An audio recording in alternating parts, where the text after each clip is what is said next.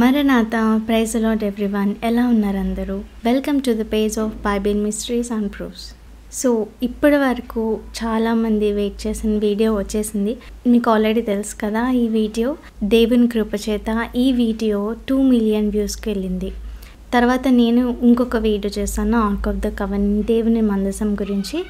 దీని గురించి కూడా చాలామంది క్వశ్చన్స్ అడిగారు ఇది ఎక్కడ దొరికింది అక్కడే ఉందని ఎవరు చెప్పారు? మెకపీస్ గ్రంథంలో ఇర్మియా గారు వేరే చోట నెబు అనే ప్రాంతం మౌంటైన్ దగ్గర గుహలో దాచారు కదా ఇది ఎక్కడి నుంచి వచ్చింది. దేవుని మందసాన్ని పట్టుకుంటే తాకితే చనిపోతారు కదా మరి దాన్ని ఎలా పట్టుకున్నారు? జీసస్ బ్లడ్ ఎలా దొరికింది? అది నిజంగా జీసస్ బ్లడ్డేనా? ఎవరు కనుక్కున్నారు? ఏంటి? అనేకమైన ప్రశ్నలు అడిగారు. సో దీనికి సపరేట్ వీడియో చేద్దాం అనుకున్నాను. అండ్ ఫైనల్లీ మీరు అడిగిన క్వశ్చన్స్కి ఆన్సర్స్ అలాగే దీని గురించిన హిస్టరీ అంతా మనం ఈ వీడియోలో మాట్లాడుకోవచ్చు. దేవన్ మనసం అనే కాన్సెప్ట్ చాలా పెద్దది. దాని గురించిన హిస్టరీ చాలా పెద్దది.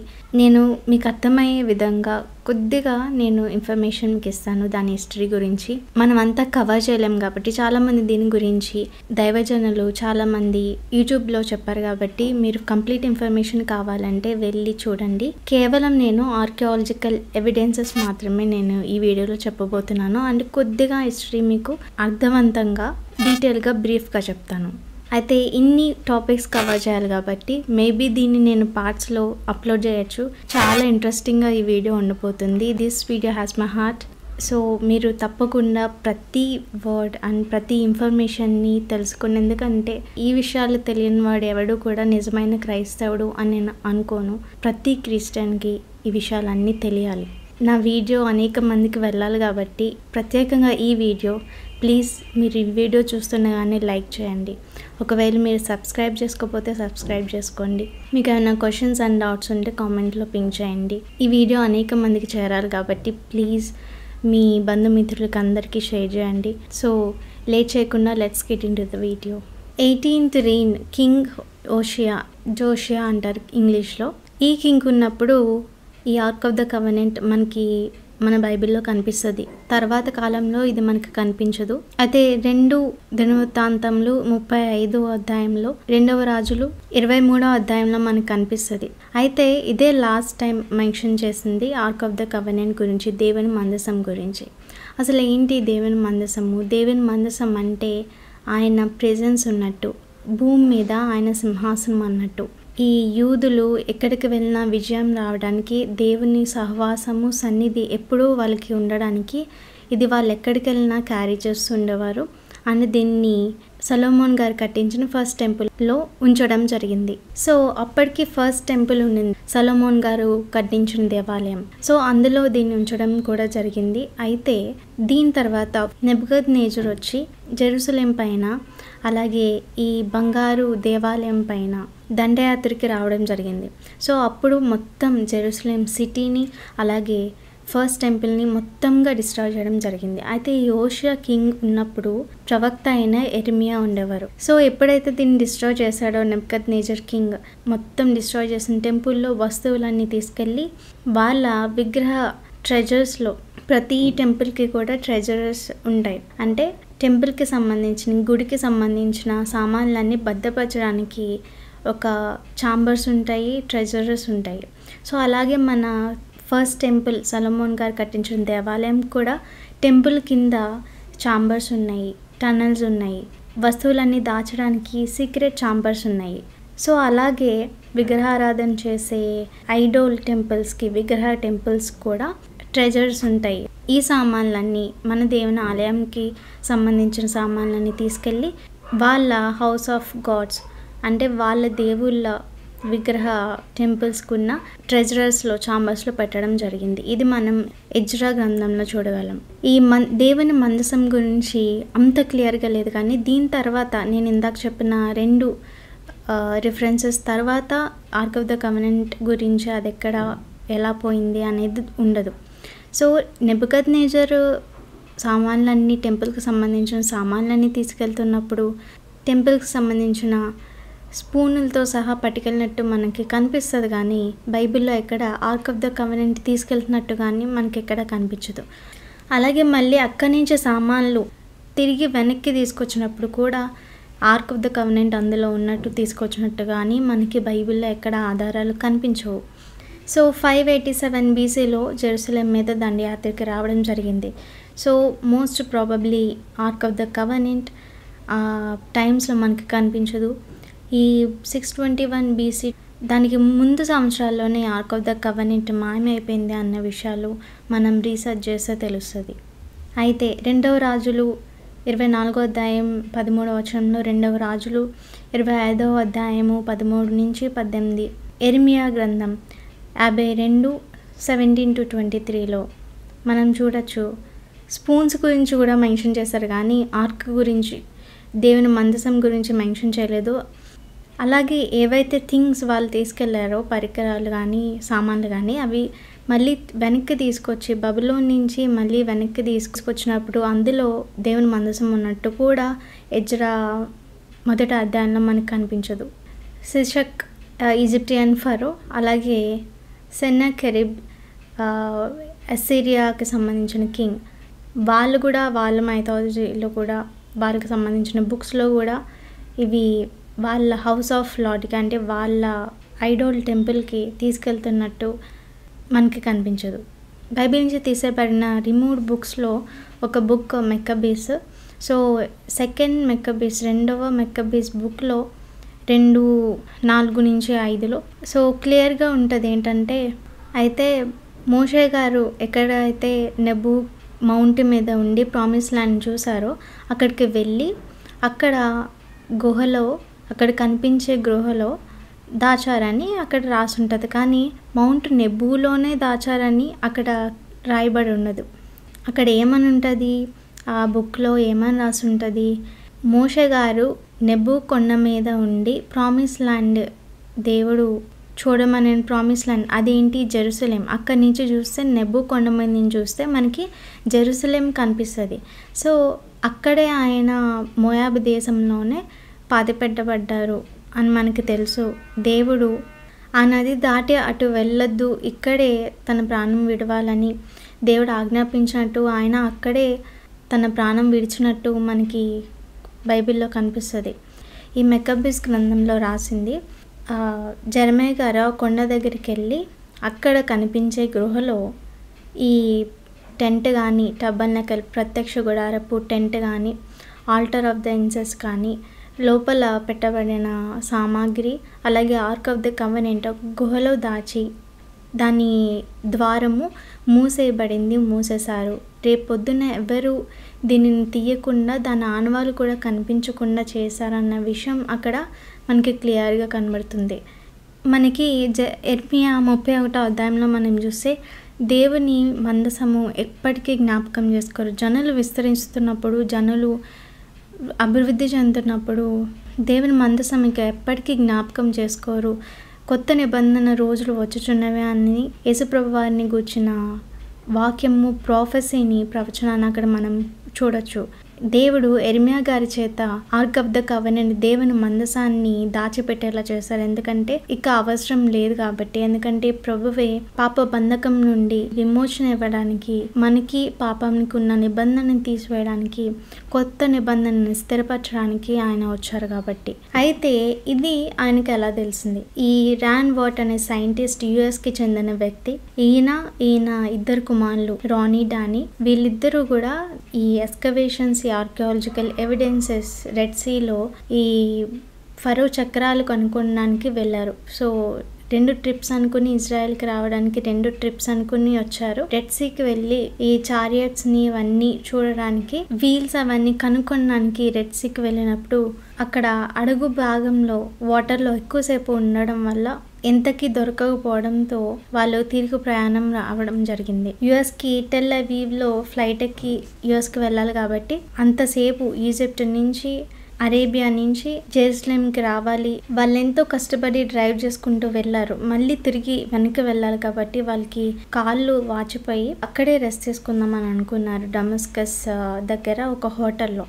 సో డమస్కస్ గేట్ అనేది ఉంటుంది కదా అక్కడి నుంచి ఈ గార్డెన్ టామ్ కానీ యేసుప్రభువాన్ని సిలువ వేసిన ప్రాంతం కూడా దగ్గరే. ఒక హోటల్లో ఉండి రెస్ట్ తీసుకున్నప్పుడు ఒక ఆయనతో రాన్ వాట్ సైంటిస్ట్ మాట్లాడడం జరిగింది. అక్కడ local authority Roman antiquities Roman చేసిన వాటి గురించి చెప్పడం కానీ అక్కడ కనిపిస్తున్న ఈ గొల్గొత ఈ కల్వరి మౌంటైన్ గురించి చెప్పడం కానీ జరిగిందనమాట రాన్వాట్ గారికి. కపాలం అనే స్థలము గోల్గతా స్థలము పాయింట్ అవుట్ చేసి అతను అదిగో అదే జర్మయా గ్రోటో. గ్రోటో అంటే ఒక కేవ్ అని అర్థం గుహ.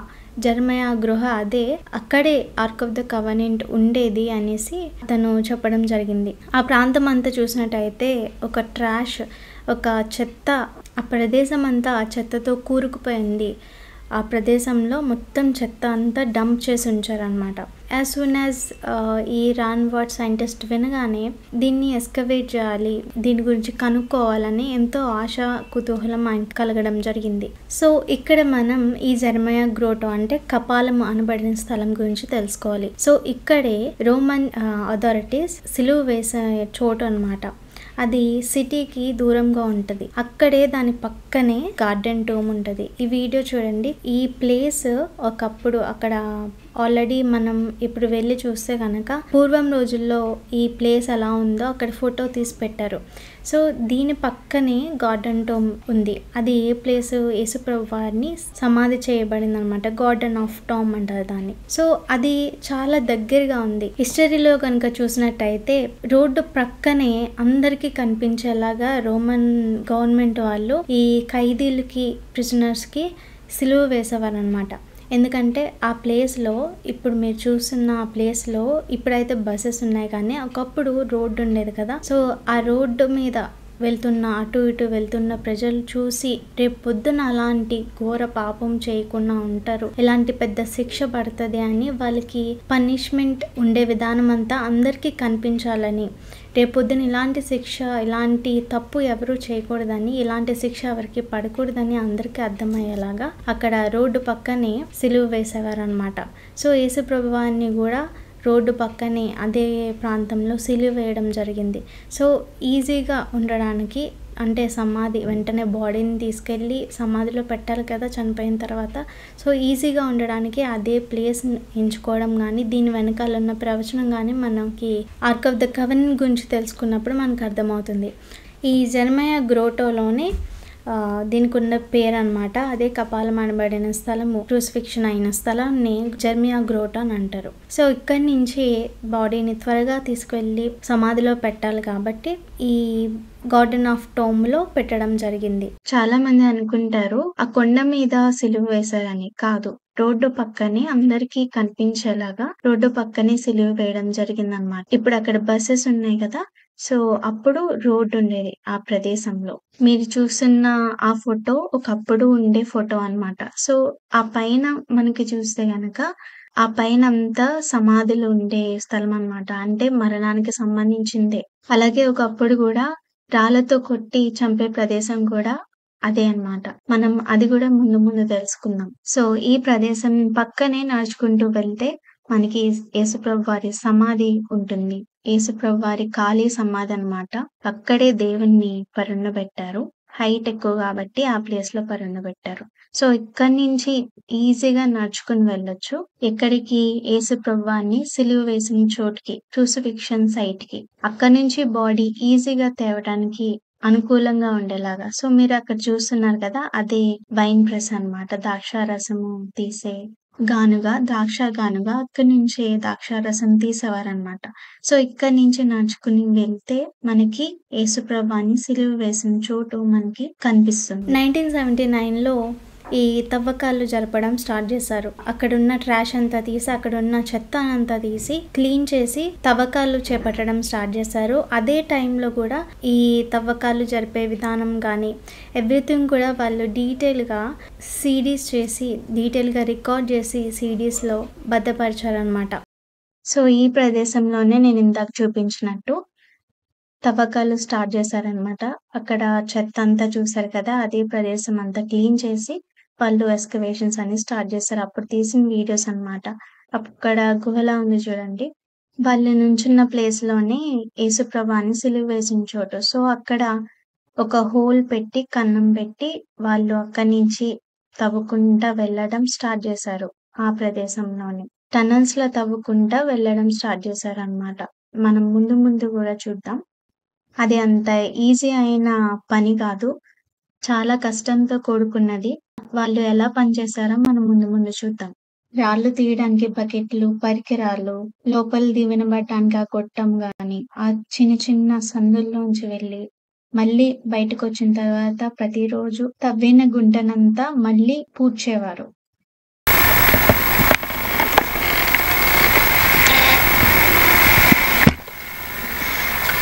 Hi, I'm Ron Wyatt. Welcome to the Ark of the Covenant dig. Uh, we've been working in this uh, area since uh, 1979. ఆ మట్టిని తవ్వుకుంటూ వచ్చినవన్నీ బకెట్స్‌లో రాళ్ళన్నీ తీసి పైన పారవేయడం గాని, అక్కడ లోపల లైట్స్ ఉండవు. చీకటిగా ఉంటుంది. సో, లైట్స్ అన్ని పెట్టి చిన్న చిన్నగా ఒక్కొక్కటి మళ్ళీ లోపల ఏదన్నా ఉంటే పాడైపోతుందని ఒక్కొక్కటి బ్రష్ ద్వారా తవ్వుకుంటూ ఆ లోపలికి ఆ కన్నం ఆ పెద్ద కన్నం లోపలికి వెళ్ళడం జరిగింది. చేతిలో డ్రిల్లింగ్ మిషన్ చూసారు కదా! అలా చిన్న చిన్నగా డ్రిల్ చేసుకుంటూ, బద్దలు కొట్టుకుంటూ, ఆ చిన్న రాయిలు గాని, పెద్ద రాయిలు గాని బద్దలు కొట్టుకుంటూ లోపల ఏముంది అనేసి వెళ్ళేవారు. లోపల ఏముందో వాళ్ళకి ఎట్లా తెలుస్తదనంటే బాక్స్లో రేడార్ స్కాన్ చేసే పరికరాలు ఉండేవన్నమాట ఇప్పుడు ఆ పరికరం ఉంది చూసారా? సో, దానితోనే స్కాన్ చేసేవారు. భూమి అడుగు భాగంలో ప్రతిదీ స్కాన్ చేసుకుంటూ వెళ్ళేవారు. సో, అలా స్కాన్ చేస్తూ ఉన్నప్పుడు బయట చెప్పేవి లోపలికి వినిపించవు కదా! సో, అందుకని ఆ గొట్టం ద్వారా వాళ్ళు మాట్లాడుతూ ఉండేవారు అనమాట సో, అప్పుడు వాళ్ళ లోపల స్కాన్ చేయడంతో అక్కడ కనిపిస్తుంది కదా! బ్లాక్ లైన్స్ దాన్ని ఈకో సిగ్నల్స్ అని అంటారు. సో, ఏదైనా ఒక సిగ్నల్ వచ్చినప్పుడు లోపల ఆ మట్టి వెనకాల గాని, బండ వెనకాల గాని ఏదో పరికరాలు సంథింగ్ ఉన్నాయి అని వాళ్ళు గుర్తించి అక్కడ వాళ్ళు డీప్ డిగ్ చేసేవారనమాట. అక్కడ వాళ్ళు త్రవ్వేవారు. సో, 1979లో ఈ ఎస్కవేషన్స్ తవ్వకాలన్నీ జరపడం స్టార్ట్ అయ్యాయి. సో, ఈ కపాలం అనబడిన స్థలం దీనికి ఎందుకు ఆ పేరొచ్చిందంటే పుర్రెలాగా ఉంటుంది ఫేస్ ఆ పుర్రె ఎలా ఉంటుందో అలాగే ఈ కొండ కూడా చెక్కబడి ఉంటదనమాట. సో, అలా మనకి కనిపిస్తుంది సో, మీరు స్క్రీన్ మీద చూస్తున్న ఫోటోలో చూస్తే అది తవ్వకాలు జరుపుతున్న స్టార్టింగ్‌లో అనమాట. అక్కడ చూడండి అచ్చము అది ఎలా ఉంది గుహలాగే ఉంది. మేబీ సో, ఇదే గుహలో జెర్మియా గారు టెంపుల్‌కి సంబంధించిన ఆర్క్ ఆఫ్ ద కవనెంట్ కానీ, వస్తువులు కానీ దాచిన ప్లేస్. ఆ డీటెయిల్స్ అన్ని మనం ముందు ముందు తెలుసుకుందాం. సో, డీటెయిల్స్‌కి వెళ్ళే ముందు యేసుప్రభు గారిని సిలువ వేసిన ప్లేస్‌లో మేబీ అక్కడ గుంట తవ్వి సిలువని కూర్చాలి. సిలువ పైన పిలాతు బోర్డు చెక్కి పెట్టమన్న మనకి ఆల్రెడీ తెలిసిందే. యూదుల రాజు అనే బోర్డ్‌ని అక్కడ పైన పెట్టమన్నట్టు మనం బైబిల్‌లో చూడగలం. అలాగే చరిత్రలో కూడా చూడగలం. అయితే ఆ బోర్డు మూడు భాషల్లో రాస్తారనే విషయం ఎవరికి తెలీదు. ఒకటి లాటిన్, గ్రీక్, హెబ్రూ. ఈ మూడు భాషల్లో వాళ్ళు ఎందుకు శిక్షకి అర్హులో, ఎందుకు శిక్ష వేయబడుతున్నారో బోర్డులో రాసి వెనకాల పెడతారనమాట. చాలామంది అనుకుంటారు వెళ్ళిపోయే వాళ్ళకి ఆ చిన్న అక్షరాలు ఏం కనిపిస్తాయి? అంతగా కనిపించవు కదా! సో, చిన్న అక్షరాలు వెళ్ళిపోయే వాళ్ళకి ఎలా కనిపిస్తుంది కనిపించదు. సో, డెఫినెట్‌లీ పెద్ద బోర్డ్స్‌లో రాసి పెట్టాలి. సో, అందుకని ఆ రోజుల్లో టైటిల్స్ అంటే ఒక చెక్క మీద జిమ్సమ్ దాంతో బ్లాక్ కలర్ అక్షరాలు రాసి మూడు బోర్డ్స్లో అంటే మూడు లాంగ్వేజెస్లో పెద్ద పెద్ద బోర్డ్స్ యేసుప్రభు వారి వెనకాల పెట్టినట్టు మనం చరిత్రలో చూడగలము. అదే మనకి తవ్వకాల్లో ముందు ముందు మనకి తెలుస్తుంది సో, ఇది రోమన్ క్రూసిఫిక్షన్‌లో ఒక భాగం అనమాట. ఈ మూడు ఎలిమెంట్స్ ఉండాలి. ఏం ఎలిమెంట్స్ అది? ఒకటేమో కొరడా దెబ్బలు కొట్టడము. రెండవది క్రాస్‌ని ని తీసుకువెళ్ళడము. సిలువని మోసుకుంటూ వెళ్ళడము. అండ్ మూడవది సిలువకి మేకులతో కొట్టి కానీ సిలువకి రోప్స్‌తో చుట్టి సిలువ వేయబడ్డం కానీ ఈ మూడు ఎలిమెంట్స్ ఖచ్చితంగా ఉండాల్సిన ఎలిమెంట్స్. సో, చాలామందికి డౌట్ వస్తుంది సిలువ మీద కదా పెట్టిందని. అది కూడా నేను చెప్పేస్తాను. మతి సువాత ఇరవై 27వ అధ్యాయం 35వ వచనంలో, యహాన్ సువాత పంతొమ్మిదవ అధ్యాయం 17వ వచనం మనము అక్కడ చూడొచ్చు. Jesus of Nazareth the kings of Jews అని రాసినట్టు మనం చూడొచ్చు. పిలాతు రాయించి పెట్టినట్టు. On the cross over the cross అని సో గ్రీక్ నుంచి ట్రాన్స్లేట్ చేసినప్పుడు ట్రాన్స్లేషన్ మిస్టేక్ అయిందనమాట గ్రీక్లో ఏముంది? ఎపి అని ఉంది. ఈపిఐ ఎపిని ఆన్ అని ట్రాన్స్లేట్ చేశారు. కానీ దీనికి అసలైన అర్థం ఏదో వస్తుందంటే అబోవ్ ద క్రాస్ పైన ఆర్ ఓవర్ ద క్రాస్ అని. క్రాస్ కన్నా పైన సిలువ కన్నా పైన అని అర్థము.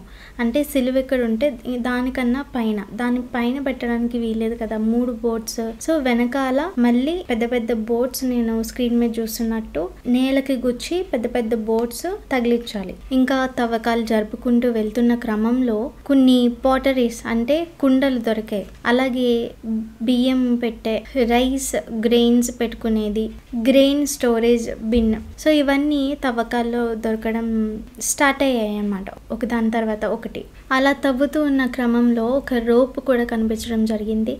అది వాటర్కి కానీ గ్రెయిన్కి యూజ్ చేసే ఒక బకెట్ ఒక జగ్ లాంటి కుండలు కూడా దొరకడం జరిగింది. ఇవన్నీ జెపుసైట్ టైంలో అనేసి వాళ్ళు గుర్తించడం జరిగింది. అలాగే వీటితో పాటు కాయిన్స్ కూడా వాళ్ళు గుర్తించడం జరిగింది. చెప్పుకుంటున్నంత ఈజీ కాదు. థర్టీ ఎయిట్ ఫార్టీ ఫీట్ తవ్వుకుంటూ వెళ్ళడం అని అంటే ముప్పై ఎనిమిది అడుగులు నలభై అడుగులు తవ్వుకుంటూ వెళ్ళమంటే ఎన్నో పెద్ద పెద్ద బండలు ఉంటాయి చెత్త ఉంటుంది చదారం ఉంటుంది. మట్టిని తవ్వుకుంటూ వెళ్ళాలి. అది కూడా చిన్న చిన్న బకెట్స్లో వాళ్ళు తవ్వుతూ పక్కకు తీసి ఏమైనా దొరుకుతాయేమో అని బ్రష్తో క్లీన్ చేస్తూ తుడుస్తూ వెళ్తూ ఉంటే ఎన్ని సంవత్సరాలకి వాళ్ళు అనుకున్నది రీచ్ అవ్వగలుగుతారు. సో ఎస్కవేషన్స్ అనేవి చాలా కష్టము. సో ఇలా జరుగుతున్న క్రమంలో వాళ్ళకి పెద్ద పెద్ద బండరాళ్ళు అడ్డగా వచ్చాయి. టన్నల్లో వెళ్తున్న క్రమంలో పెద్ద పెద్ద బండలు రాయిలు అక్కడ ఉండడం జరిగింది. సో అప్పుడు కొన్ని వస్తువులు దొరకడం జరిగింది. అయితే దానికన్నా ముందు ఇక్కడ ఎందుకు రాయిలు ఉన్నాయి అని వాళ్ళు రీసెర్చ్ చేసినప్పుడు అదొకప్పుడు మనుషుల్ని స్టోన్ చేస్తే అంటే రాయితో కొట్టి చంపేవారు. అంటే మోజెస్ లా ప్రకారం మోషే ధర్మశాస్త్రం ప్రకారం ఎవరైనా తప్పు చేస్తే రాయిలతో కొట్టి చంపే ఆజ్ఞ ఒక లా ఉంది. సో అదే ప్లేస్లో రాయిలతో కొట్టి చంపేవారు అనేసి వాళ్ళు డిస్కవర్ చేశారనమాట సో అక్కడ పెద్ద పెద్ద బండరాయిల మధ్యలో బోన్స్ ఉండడం వాళ్ళు గుర్తించారు. సో ఈ ఫ్లోర్ అంతా ఈ దాదాపు మూడు నాలుగు అడుగులు మొత్తం ఈ స్టోన్స్ ఉన్నట్టు అంటే తవ్వుతూ ఉంటున్నప్పుడు ఒక్కొక్కటి తవ్వుకుంటూ వెళ్తారు కదా అప్పుడు ఏ రకంగా ఇలా ఇక్కడి నుంచి తవ్వుకుంటూ వెళ్తున్నప్పుడు ఏ రకంగా ఈ వాల్ ఉందో ఆ మట్టి ఉందో మనకు అర్థమవుతుంది. ఇక్కడ రాయిలు ఉండొచ్చు దానిపైన సాయిల్ ఉండొచ్చు దానిపైన మెత్తని మట్టి ఉండొచ్చు ఇలా మనకు కనిపిస్తుంది కదా. సో ఇలాంటి క్రమంలో తవ్వుతున్నప్పుడు ఒక త్రీ టు ఫోర్ ఫీట్ అడుగుల్లో మొత్తం డెబ్రీస్ ఉన్నట్టు. మొత్తం ఒక ఆ గ్రౌండ్ అంతా రాయిలతో నిండిపోయినట్టు. సో ఇదే స్టోనింగ్ గ్రౌండ్ అనేసి వాళ్ళు నిర్ధారించారనమాట ఎందుకంటే ఆ ఇంత మందంలో త్రీ టు ఫోర్ అడుగుల మందం అంతా ఈ స్టోన్స్ ఉన్నాయి. ఆ స్టోన్స్ మధ్యలో మనుషుల ఎముకలు ఉండడం వాళ్ళు గమనించి దీన్ని స్టోనింగ్ గ్రౌండ్గా నిర్ధారించారు. సో తవ్వుకుంటూ వెళ్తున్న క్రమంలో ఇంకా చాలా కనుక్కున్నారు. మన అవేంటో కూడా మనం చూద్దాం.